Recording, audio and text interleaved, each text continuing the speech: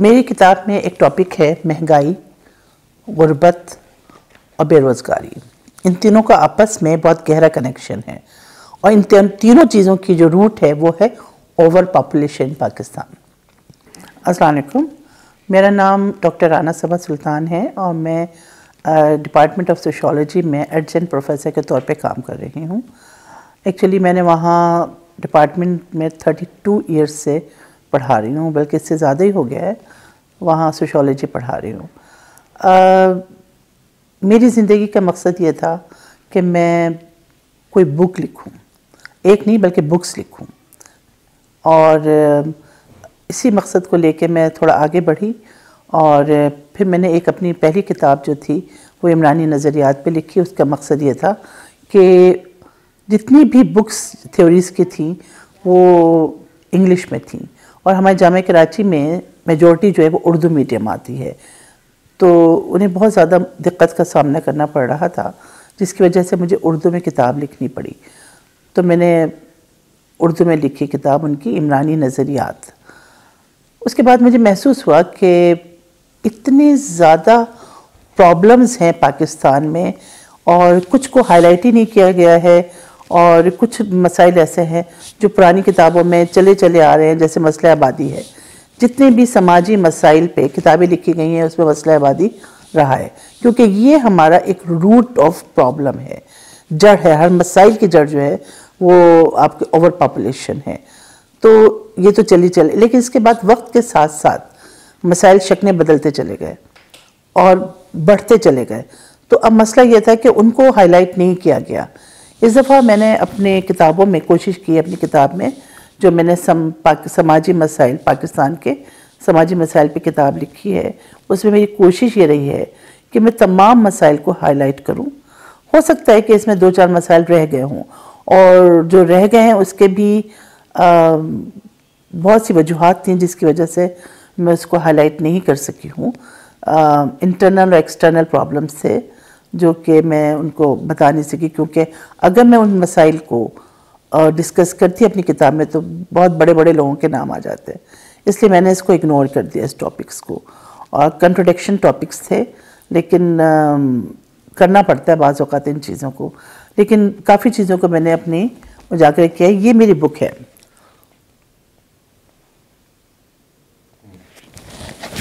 पाकिस्तान के समाजी मसाइल। इसमें मैंने जिन चीज़ों को बहुत ज़्यादा हाईलाइट किया है, वो तो अपनी सबसे पहले तो ओवर पॉपुलेशन है, आबादी।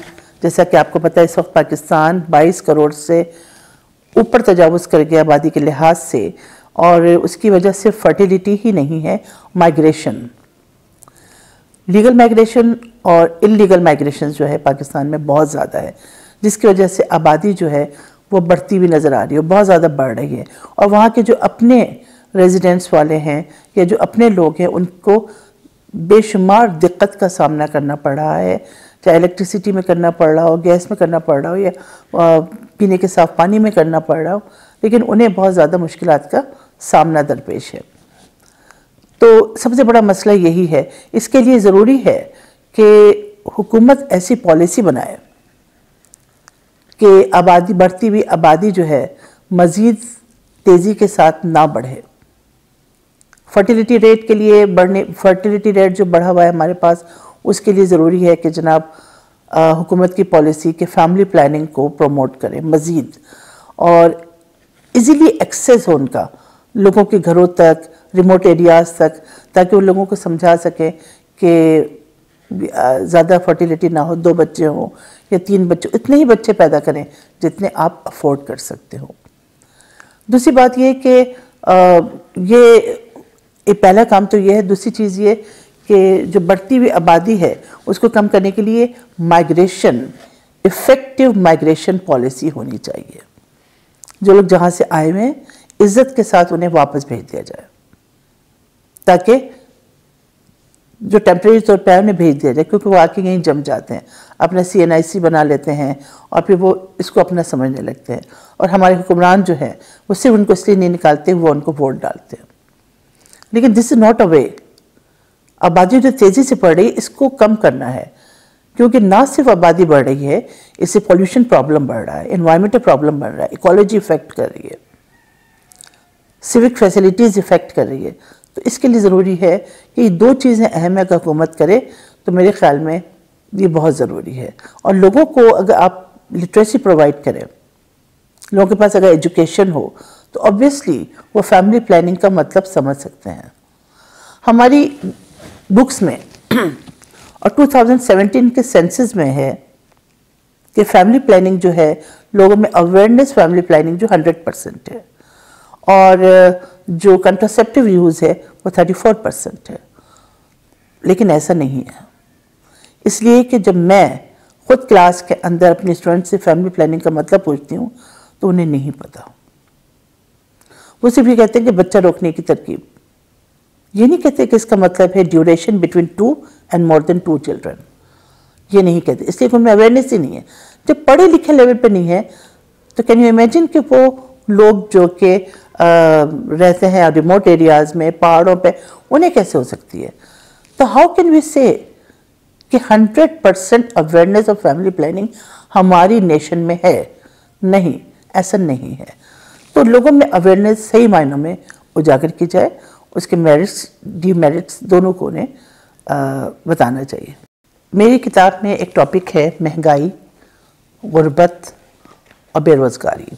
इन तीनों का आपस में बहुत गहरा कनेक्शन है और इन तीनों चीज़ों की जो रूट है, वो है ओवर पॉपुलेशन पाकिस्तान। ज़ाहिर बात है, जब आबादी बढ़ेगी तो लोगों को ना रोज़गार मुहैया होगा, ना तालीम मुहैया होगी तमाम मसाइल जो हैं वो इसी से जन्म लेते हैं और फिर गुर्बत जो है वो पैदा हो जाएगी। गुर्बत जो है ऐसी चीज़ है कि जब इंसान को बुनियादी ज़रूरियात ना मिलें, यानी बुनियादी ज़रूरियात की महरूमी को गुर्बत कहा जाता है। और मुल्क में इस वक्त हमारे गुर्बत बहुत ज़्यादा है। यानी 50 परसेंट लोग जो है वो इंतहाई गुर्बत का शिकार हैं। यानी वो जो उन्हें रोटी, कपड़ा, मकान भी नहीं मैसर है उनको।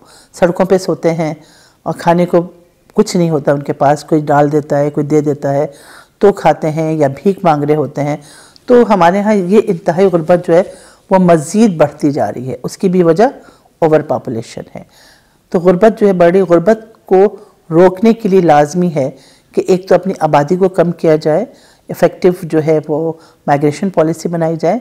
जब आबादी कंट्रोल में आ जाएगी तो फिर कोशिश ये की जाए कि वो तमाम लोग जो कि अकॉर्डिंग टू देयर एबिलिटीज़ उनको मुलाजमत के मौाक़े फ़राम करने चाहिए।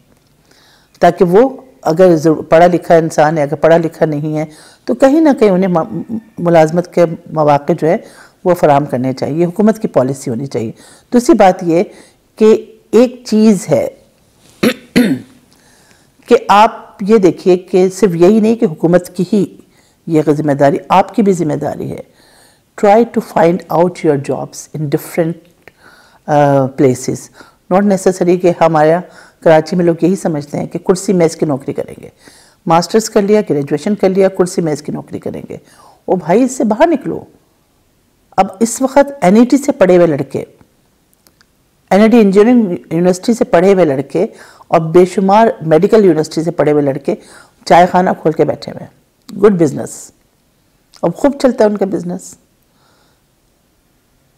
सूप का, कारोबार कर रहे हैं, खाने का कारोबार कर रहे हैं, क्योंकि मुलाजमतें नहीं हैं। जब मुलाजमत नहीं है तो ये मतलब तो नहीं है कि हाथ पे हाथ धरे इंसान बैठा रहे। डू समथिंग एल्स आपको अभी बाहर भेज दिया जाए तो आप क्या करेंगे? क्या आपको कुर्सी में इसकी जॉब मिलेगी? नहीं। आपको यकीनन जो है कोई ऐसी जॉब मिलेगी जो लेबर की होगी।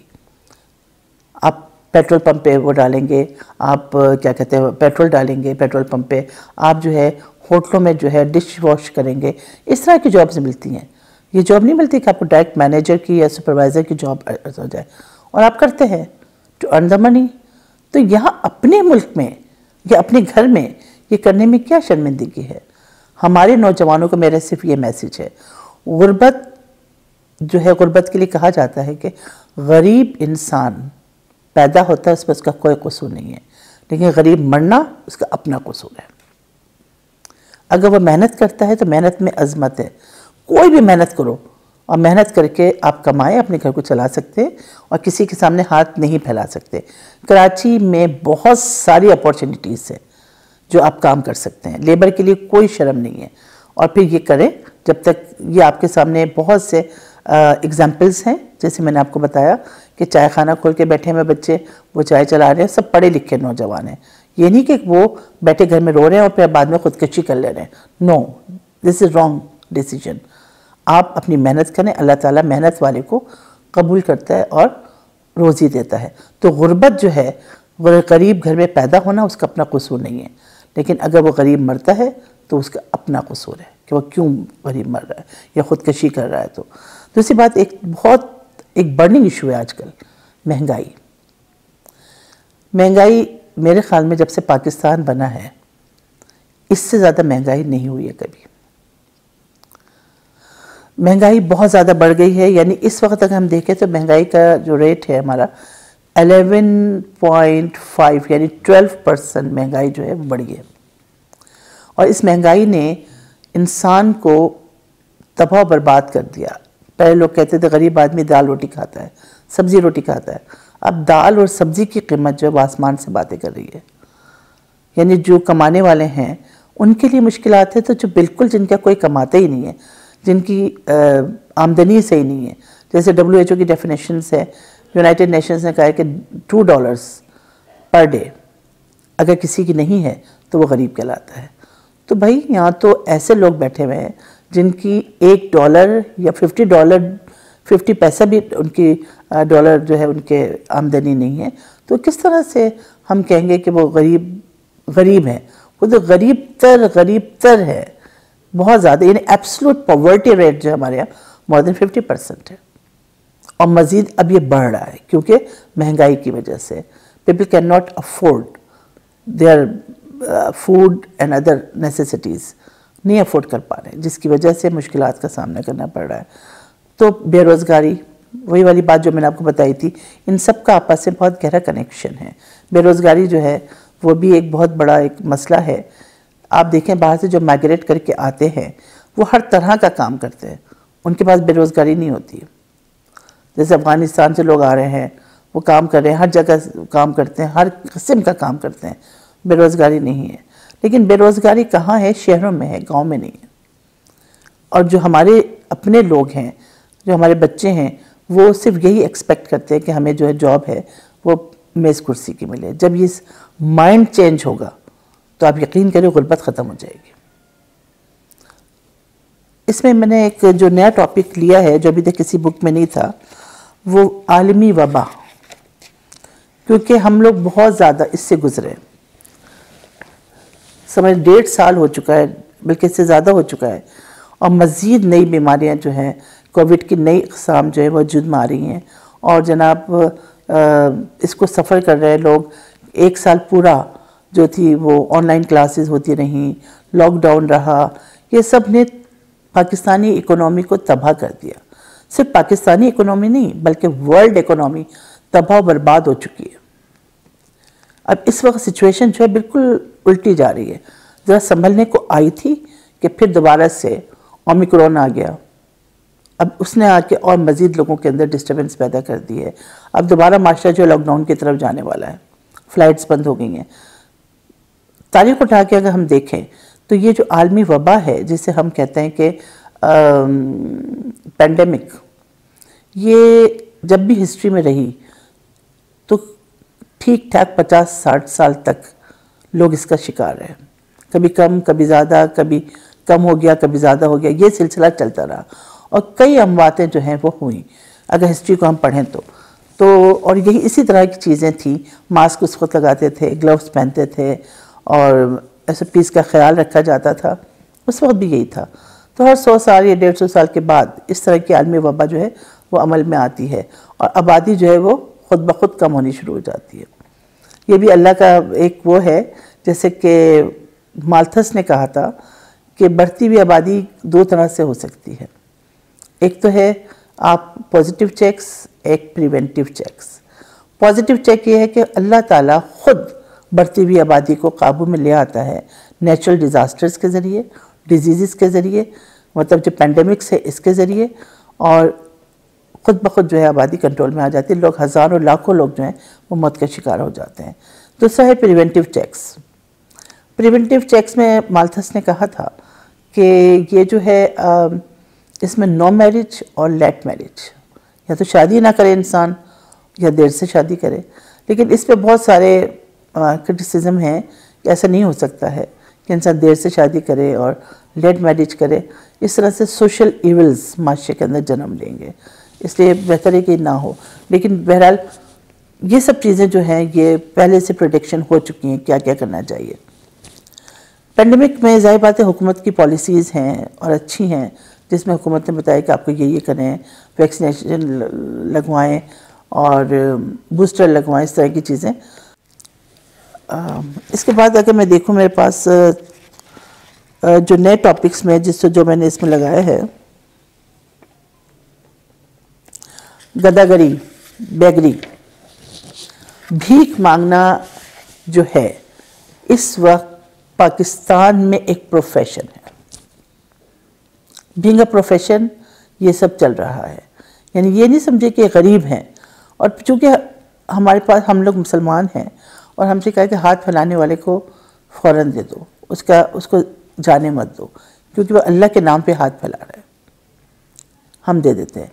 लेकिन अगर सोशोलॉजिकल पॉइंट ऑफ़ व्यू से आप देखें तो हम अपने लोगों को फ़कीर बना रहे हैं। आप देना छोड़ेंगे, गदागरी ख़त्म हो जाएगी। लोग काम करने लगेंगे। जब मैं इन लोगों से कहती हूँ, फ़कीरों से कभी मिलती हूँ तो मैं कहती हूँ, तुम लोग हट्टे कट्टे हो। काम करो मैं करा के कह लेंगे काम कितने पैसे देंगे? हमने कभी इतने देंगे तुम्हें काम के? तो कहने हैं इससे ज़्यादा तो हम एक दिन में कमा लेते हैं। तो इसमें किसकी गलती है? अगर नोट किया जाए तो इसमें हमारी गलती है कि हम अपनी कौम को जो है वो बना रहे हैं गदागर बना रहे हैं और जो प्रोफेशनली लोग हुए उससे और गदागरी से मुंसलिक अगर देखा जाए तो एक पूरी माफिया है। जो ऐसे लोगों को जगह जगह स्टॉप पे छोड़ती है और रात में आके उन्हें पिक करके ले जाती है। और जो कुछ उन्होंने कमाया होता है, फिर उनका अपना धंधा क्या करना है उनको? तो ये चीज़ें ख़त्म होनी चाहिए, क्योंकि गदागरी एक क्राइम है।